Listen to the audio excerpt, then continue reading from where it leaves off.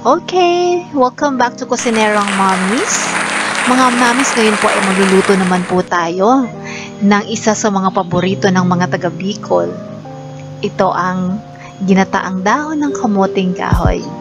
Ito lang po yan mga mommies sa ang Kusinerang Mommy. At ihanda po natin ang ating mga kakailanganing ingredients. Siyempre mommies, kailangan po natin ng dahon ng kamuting kahoy, sibuyas, bawang, asin, and of course, pansahog. Siyempre, mamis, una po sa lahat, kailangan ko muna pong lamasin ang ating dahon sa, sa pamamagitan po ng asin. And then after that, mamis, pipigaan po natin siya para matanggal po natin yung kanyang katas para hindi siya mapait. Yan, simulan na po natin ang ating pagluluto. Yes, ma'am, ito po nilalagay ko. Ito po yung pangalawang gata. So, medyo dadamihan ko po siya ng konti, mami, para talagang lutong-luto po yung ating dahon. Alright, lagay po natin ang ating ingredients, ang ating bawang at sibuyas. So, sama-sama po silang lahat, mamis. Alright, pakulain po natin. So, kapag kumukulo na po yung ating pangalawang gata, mamis, ilagay po natin yung asin. Konti na lang po yung asin na ilalagay ko, mamis, kasi kanina po naglamas ako nung dahon. Nilagyan ko na po yun ng asin. So, para hindi naman po siya maalat. Alright. So, after this, mommies, uh, pwede na po nating ilagay ang ating na dahon ng kamuting kahoy. Yan.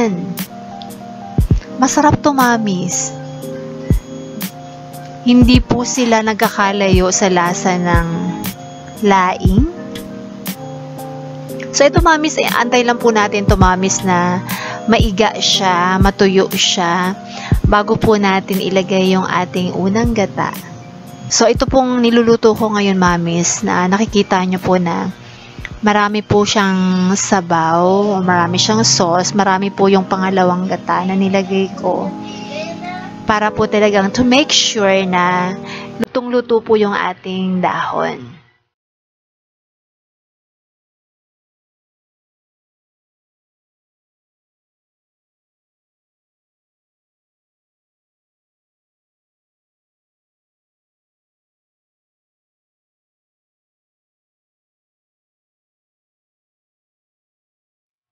Yan. Tapos po, mamis, mas masarap po ang dahon ng kamuting kahoy kung yung bang parang uh, bago nyo po ilalagay yung unang gata, yung bang parang uh, medyo nasusunog na po yung ilalim ng gulay.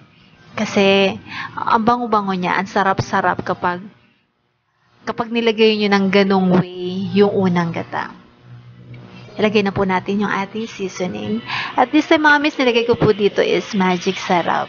Yun lang, pansahog. Yung pansahog po, mamis, na ginamit ko eh, pritong isdang bangus. Hinimay ko po siya. Tinanggal ko syempre yung mga tinik para hindi naman siya sagabal sa pagkain.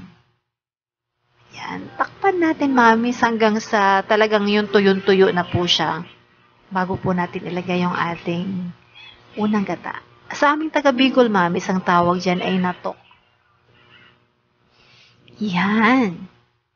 Masarap nga nito, mamis, yung talagang nagmamantika siya. Nagmamantika siya sa sa gata niya.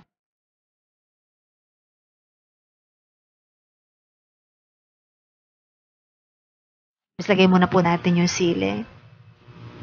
Para medyo manuot na po yung lasa niya dun sa sa gulay. Para medyo masarap naman mamis kapag kakain kayo ng kahit anong gata na ulam. May sili. Yummy, yummy.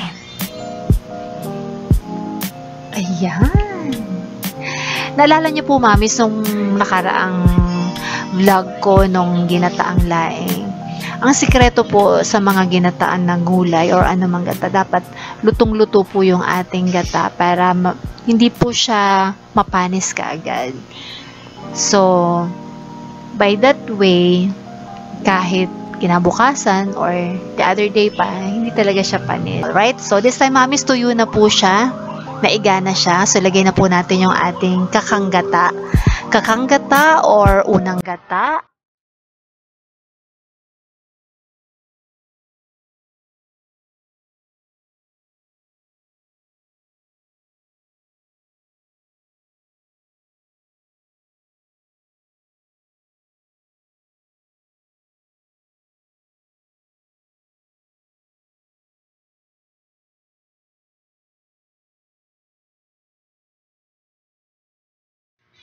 Luto na po ang ating ginataang kamoting kahoy.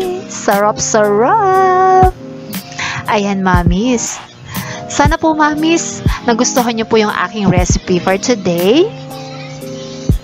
Salamat po sa panonood niyo po. Huwag niyo pong kalimutang i-like at i-share at mag-subscribe po sa aking channel at sa aking page. Salamat po sa panonood uli. Hanggang sa susunod po na aking recipe na lulutuin. Bye po. God bless.